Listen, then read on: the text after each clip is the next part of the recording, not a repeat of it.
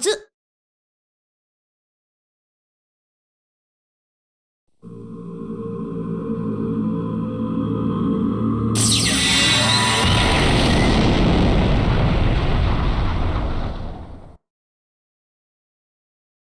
今一つの惑星が死んだ直径200キロの隕石が地上の動物を完全に抹殺したのだこれはその星の動物たちを救うためにたった二人で戦った少年と少女の物語である。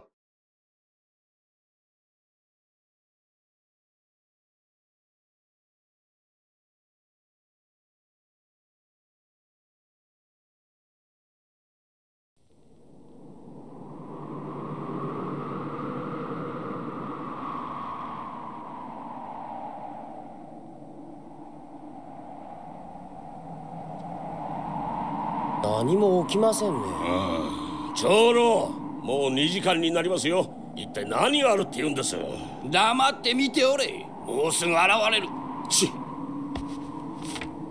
あんた方の神様がどれほどのものか知りませんがね。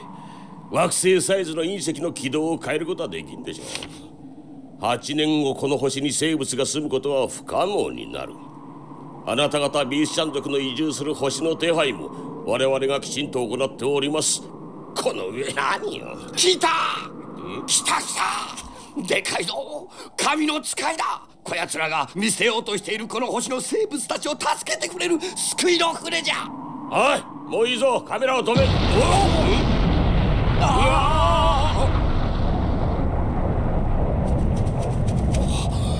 どうじゃこれが我らの神が天より使わせた箱舟じゃ。初めて初めてわしの予言が当たった。箱舟？だったったと上、うん、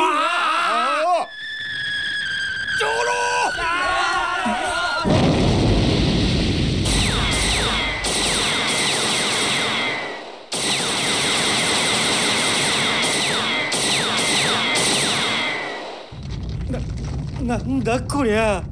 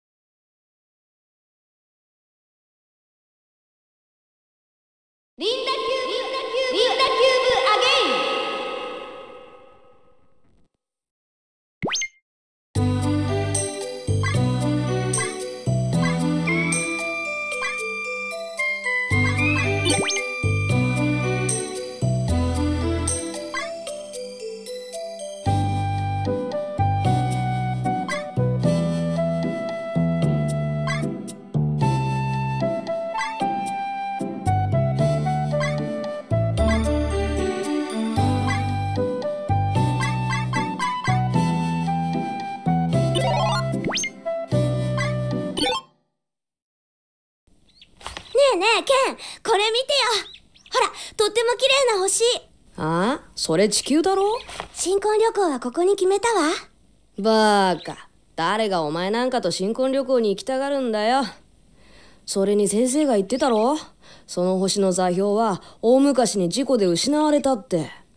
じゃあケン探しといて。大人になるまでに。え？何をだよ？地球。何？約束ちょっと待ってよ！見つけられたらケンのお嫁さんになってあげる無茶言うなよ。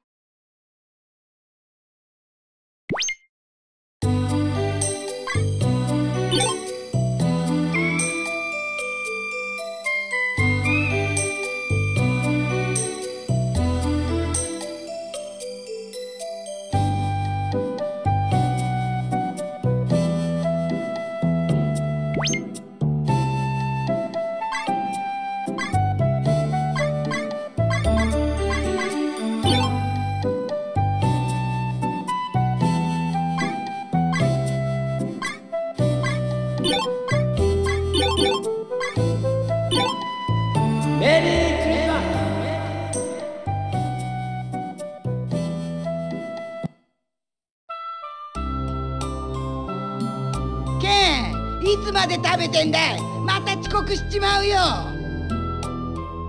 本部の裏に住んでるくせに第一番の遅刻王だって噂だね。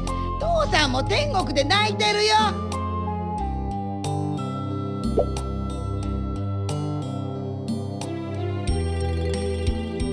母さん大事な相談があるんな何よ改まっちゃって。だ例の箱舟のことなんだけど男の乗員がまだ決まってないんだよ。それで俺さケン私のことを心配して迷ってるとしたらあんた大バカだよ。たった一回こっきりのあんただけの人生なんだ。好きなようにおやり。でも母さん俺はさ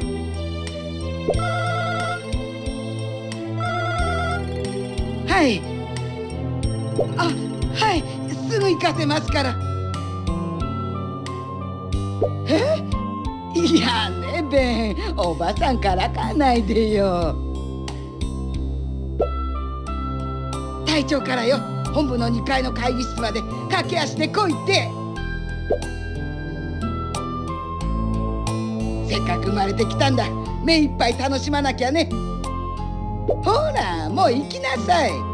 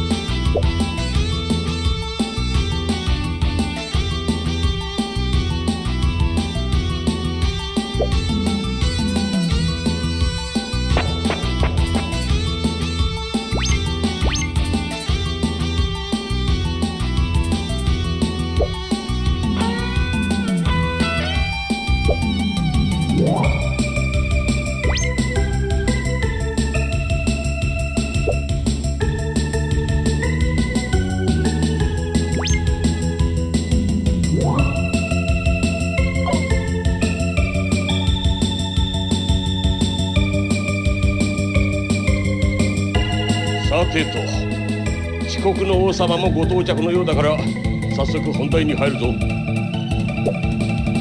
ほらケン突っ立ってないで入れ。会議の趣旨は分かっていると思うが簡単に説明しておこうか。ああみんな知っての通りこの星に8年後ちょうど級サイズの隕石がぶつかる。そう通称死神。こいつだ。学者先生の予想では地上の生命を完全に消し去り以降2万年はどのような形の生物も住めなくしてくださるそうだ。おかげさまで脱出プロジェクトの方は我々の貴重な休日を奪いながらも順調に進んでいる。さて問題は箱舟こっちの方だ。俺の誕生日の翌日だったからちょうど1ヶ月前だ。こいつは忽然と姿を現した。しかもとんでもないメッセージのおまけ付きでだ。メッセージの中身はこうだ。この星の動物を救いたい。ついては動物のオスメス各1匹。それに人間の男女を乗員として1名ずつ箱舟に乗せてほしい。もちろん自ら神様と名乗る奴の頼みなど無視するのが筋のはずだったんだがどこでどういうことになったのか。連邦はこのヨタ話にゴーサインを出しやがった。おまけに箱舟に乗りたいと言い出すおっちこちまで出る始末。そうそこにいるケン。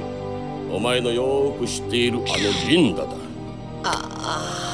彼女は原住民ビーシちゃんとのハーフでもあるし確かに動物集めにはぴったりだ。口は悪いが無口な女よりマシだろ性格も悪いから退屈はしないぞそれに今時飯をうまそうに食う。さあもう分かったろ。残るはリンダの花婿男性乗組員1名経験不問。一切の保証なし。我と思わん者は手元のボタンを押してくれ。強制はしない。以上説明終わり。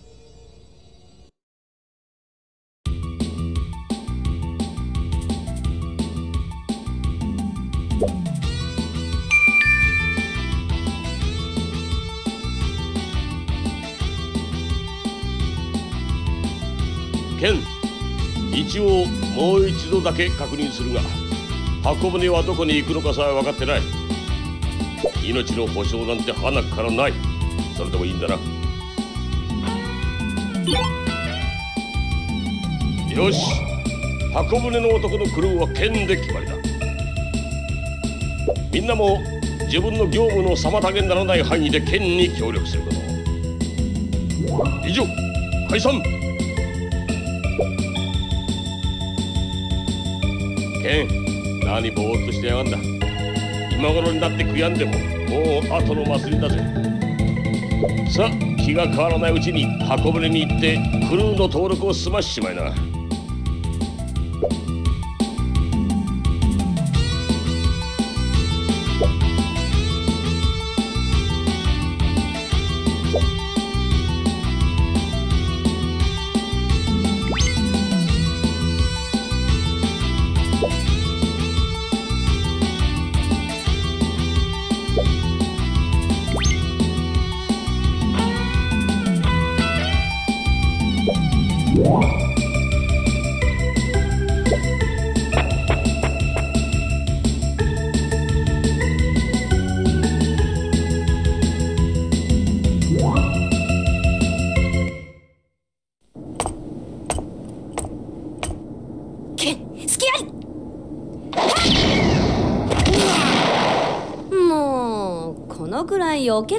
の？相変わらずとろいわね。箱舟のクルーにもなかなか立候補してくれないし。他のやつに決まったらどうしようかって心配してたのよ。そういやケンあんたまだレベルが1なんだって？女の私でさえ2レベルなのよ。せめて3レベルは欲しいわね。可愛いリンダさんのためなら3レベルくらい楽勝でしょ？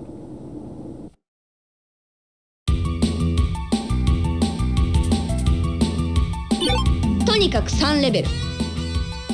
分かったわね。3レベルよ。それまでは絶対私に近づかないでよね。じゃあよろしく。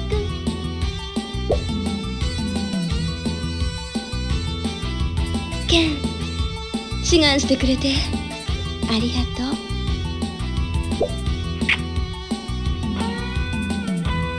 ママ先に行ってるわよごめんなさいねケンちゃん。うちの娘ったら昔からいつもあなたにばかり面倒かけて。頼むわねケンちゃん。たとえどんなことがあってもリンダを守ってやってね。お願いよ。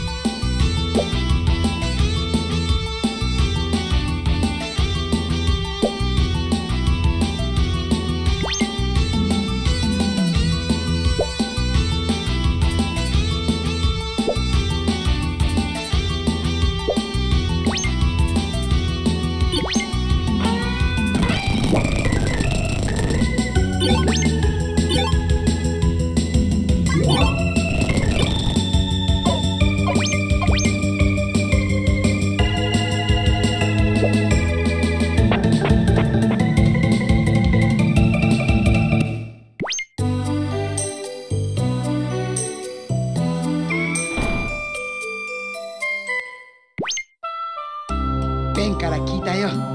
クルーに立候補したんだって。ありがとうよケン。実はねベンと賭けをしてねもちろん私はあんたが志願する方さ。せっかく生まれてきたんだ。目いっぱい楽しまなきゃね。ほらもう行きなさい。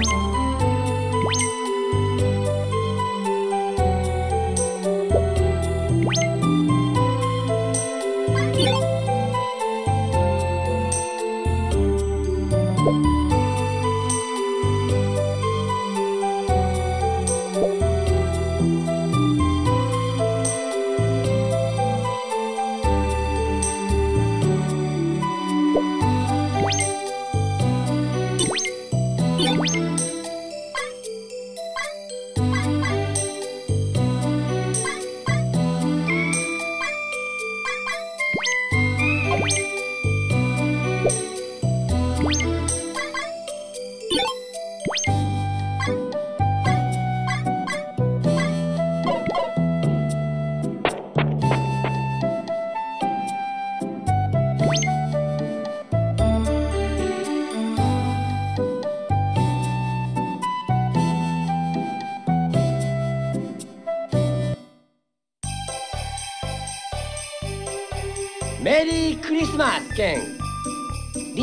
メッセージを伝えるね。102号室で待ってるわよ。だってさ。覚えたかい？兄ちゃんあんな可愛い彼女がいて羨ましいな。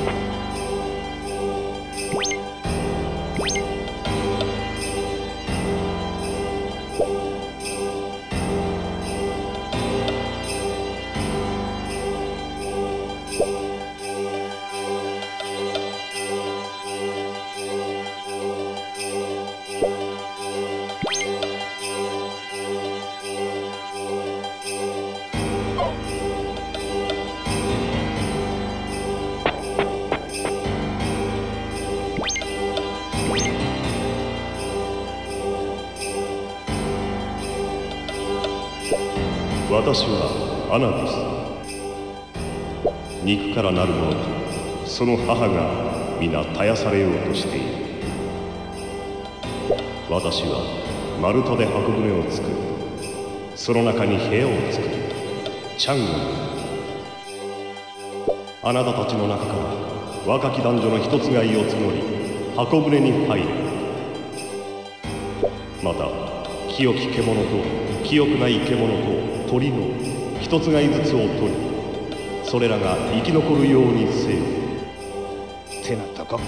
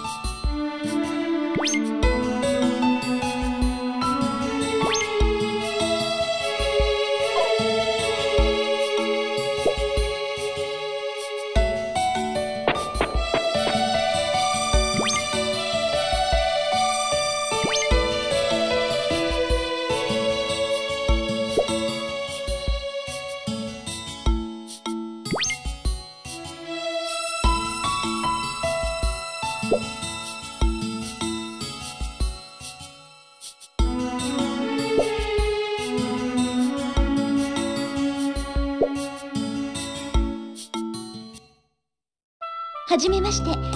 私ここの見習い看護婦で幸子って言います。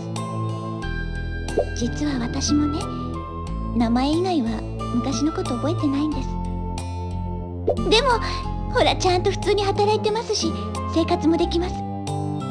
だからリンダさんもたとえ記憶が戻らなくても大丈夫。でも戻るといいですね。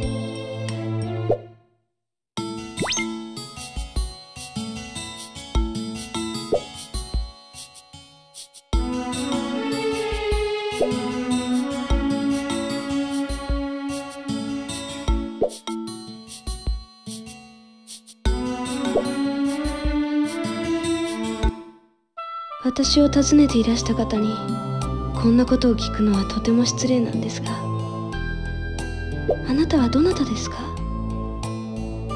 私とどういう関係の方ですか？面倒でも教えてください。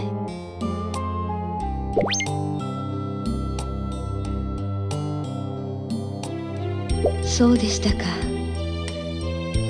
あなたは私の幼なじみなのですね。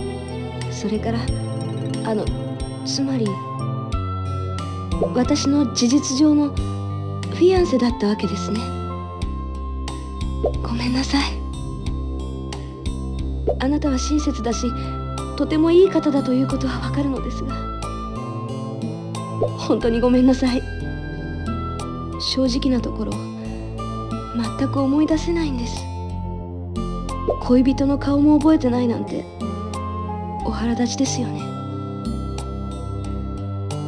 本当にごめんなさい。でももし嫌じゃなければまた会いに来てください。